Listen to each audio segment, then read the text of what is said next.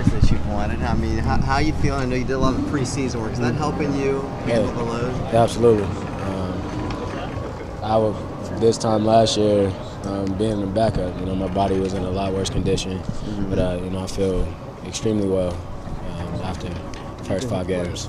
You've been here a long time. The, the UW rivalry has been big through the years. Does that still resonate with you, or are you guys taking it just as another, another challenge? Just another game. Um, pay no more attention than we would to the next team. Um, you know, we got to prepare for them. We're going to come in. They're going to come here. They're going to play hard. They're going to give us their best shot, just like every other team would. Uh, we just got to prepare and do things the way we normally would do them.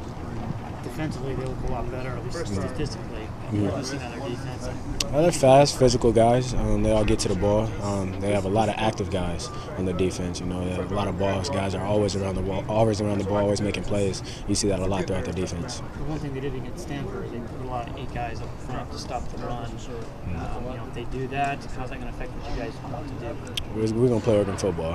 Um, you know, it doesn't matter what you do. Um, you still have to stop us, and that's pretty much what it comes to, comes down to. You know, if we execute the way we can execute, you know, it's hard to hard to stop us. And if we allow them to dictate the game, then you know it'll be it'll be easy for them to do what they need to do. How important is it for you then to dictate?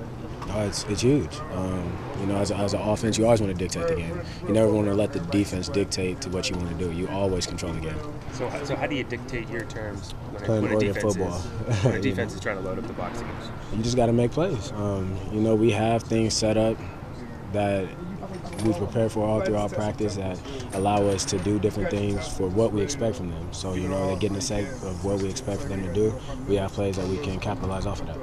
Sarkisian was saying that he thinks that this team's much more well equipped to play four quarters with you guys than they have in the past. From watching the film, do you notice them rotating a lot more guys on defense, have a lot more depth, and seem like a team that Yeah, I see the depth there. Um, you know, until then, you still got to come out and execute. That's pretty much what it comes. It's a game of execution.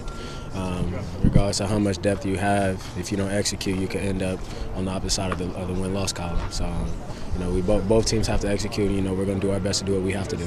Gary Campbell was telling me after the game that he was talking throughout the Washington State game about your running style and trying to run more aggressively. And you were worried about him calling you soft. Yeah, he pissed me off. he did. He said that's how you wanted him. To, he, that's how he wanted you to run. Yeah. Is that something that you're trying to change a little bit your running style of being more of that? I don't know how to. I'm not trying to call you, but more of that, that hard-nosed runner. Yeah, you know, you definitely want to add that to your game rather than always being, you know, somebody that's making people miss or running from people. You know, you, you want to keep a team off balance. You know, if a team knows that you're just constantly going to hit sideline to sideline, that you're going to make a miss, that's what they expect. But um, if you hit them in the mouth, it changes things.